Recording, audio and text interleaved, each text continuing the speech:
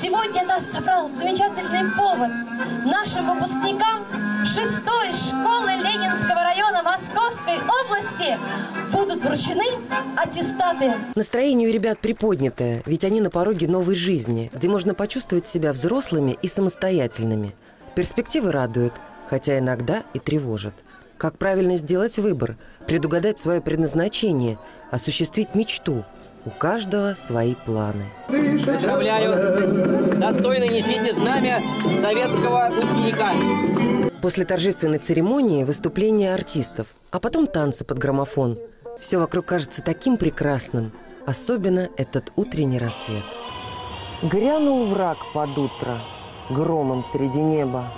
Рухнул мир, как будто никогда и не был. Не забудут даты, классы выпускные.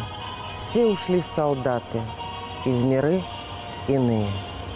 Таким для наших земляков был выпускной бал 41 года. В основу реконструкции этого дня легли воспоминания Анны Михайловны Нехороших. Все вместе по крупицам собирали имена и фамилии тех, кто пережил эту дату – день начала страшной войны. Все имена, фамилии подлинные, все э, персонажи, герои подлинные. И хочется огромное сказать спасибо и историко-культурному центру, и э, музею шестой школы, которые поделились с нами э, вот этой информацией э, достоверной, подлинной. Вчерашние выпускники, 17-летние девчонки и мальчишки уходили добровольцами на фронт, едва покинув школьные стены. Многие из них не вернулись. И только спустя годы мы узнаем их фамилии и имена.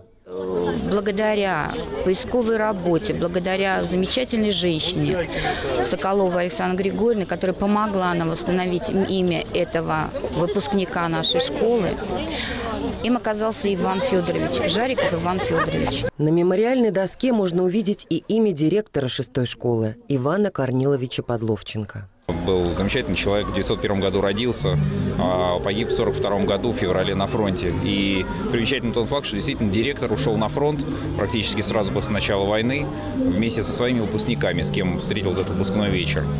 На выпускном 41 года учениками стали выпускники сегодняшние. Они наследники героев, тех, кто совершил великий подвиг и повернул ход истории к миру и процветанию. Мы вспоминаем этих людей, и нас не надо заставлять вырабатывать какие-то эти чувства. Они идут от чистого сердца. К этому не приготовишься никак, это вот отсюда идет. Это не просто театральная постановка или реконструкция событий далеких лет. Это митинг «Реквием», дань нового поколения ушедшему. Вот все, что мы делаем, вся страна, да, все наши э, жители, граждане нашей страны, они это делают с душой, для того, чтобы история никогда не умирала.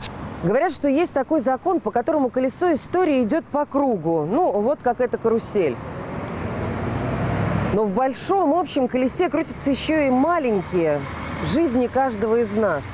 Поэтому все вместе, сохраняя память о прошедшей войне, мы можем остановить его и повернуть на новый исторический цикл без боли и войн. Елена Бабина, Алексей Иванов, Евгений Садовский. Видное ТВ.